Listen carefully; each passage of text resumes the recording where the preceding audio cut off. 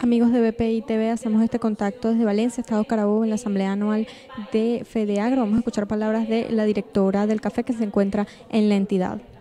No podemos negar que en estos momentos contamos con precios bastante interesantes en el rubro café, el cual le ha permitido al productor una inversión en lo que es la renovación de nuestros cafetales tan afectados por la roya, por la broca del café y que de modos propios ha venido pues eh, renovando nuestras haciendas eh, las haciendas, pero no olvidemos que esto es un rubro que eh, sembramos hoy y más o menos estaríamos recibiendo la cosecha o agarrando las cosechas en tres años. Pero sin fertilizantes no vamos a poder producir café. Este año eh, esperaríamos el colapso de la caficultura venezolana si no contamos con los fertilizantes necesarios en nuestras haciendas. Las, las, las, respuestas ante las peticiones de fertilizantes han sido negativas. Nos han dicho que el rubro café no es un rubro importante en estos momentos para el país, pero yo quiero decirle que debe ser considerado como un rubro importante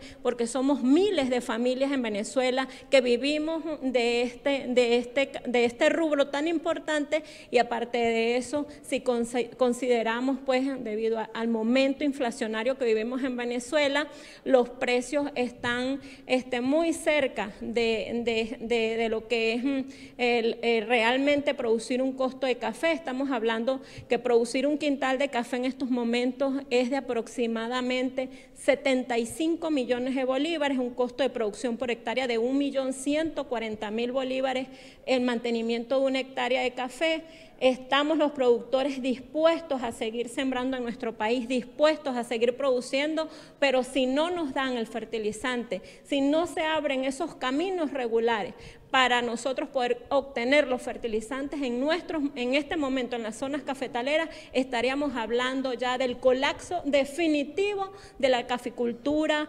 venezolana, porque ya venimos pues de aguantar eh, estos cafetales, la roya, la broca, el café, dos años sin fertilización, pero ya un tercer año sin fertilizar una finca de café significa la destrucción total del arbusto del café y no contamos en estos momentos de la no disponemos ni hay la disponibilidad de quienes distribuyen de asignar este, los fertilizantes necesarios para el mantenimiento de los cafetales y para aumentar la producción nacional. ¿Se sigue importando café en Venezuela? Se sigue importando café en Venezuela. Hemos manejado información que en, los en, estos días eh, ha llegado a Puerto Venezolano algún café de Nicaragua, el cual... Este, no sabemos pues por qué se está manejando esta política, porque ah, les hablé de los precios del café, precios interesantes, 80 mil bolívares un quintal de café. Estamos hablando que al consumidor más o menos les está llegando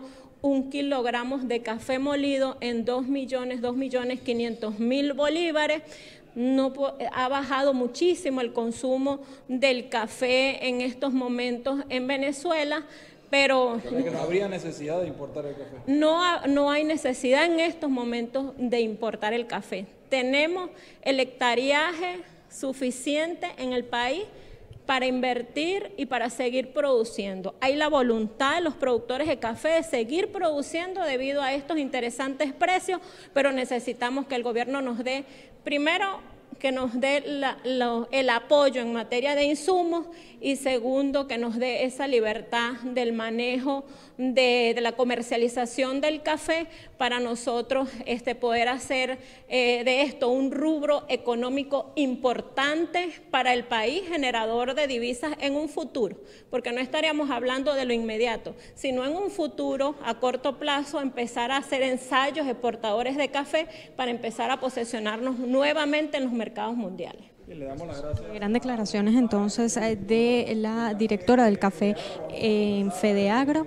Nosotros nos encontramos en la asamblea anual de Fedeagro acá en Valencia, Estado Carabobo. Yo soy Fabiola Mauso, transmitiendo para BPI TV.